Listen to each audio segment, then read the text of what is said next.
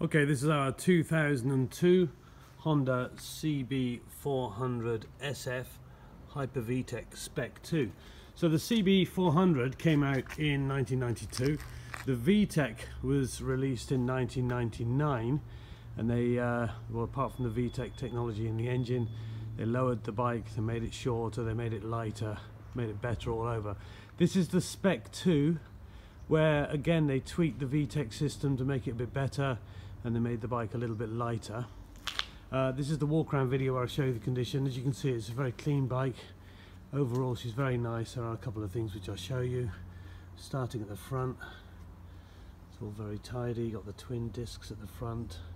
It's a good tyre. A little bit of surface rust at the front end of the exhaust at the top there. Overall the exhaust systems are good. Engine is very clean as is the cylinder head. Tank paint very very nice. One or two very small scratches. You see if you can pick them up. Okay then the side panel and subframe again. It's all good here. A couple of little scratches on the muffler. Got the Showa shocks. Rear wheel again very clean.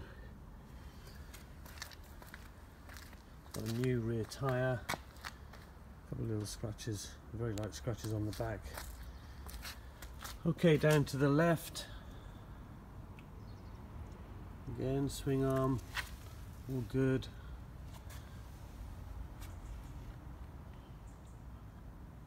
A couple of small scratches on the left side of the engine cover. Left side of the tank I think is immaculate. If not it's pretty close to it.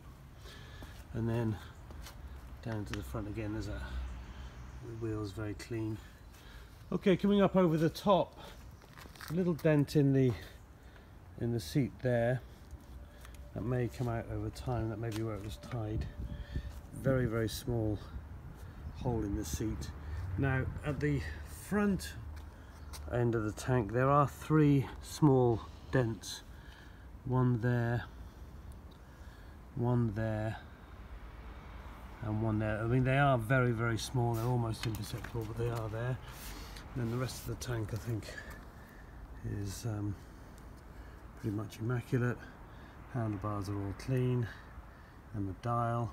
This bike's done about 32,000 kilometers, about 20,200 miles. A 2002 Honda CB400 SF Hyper VTEC Spec 2.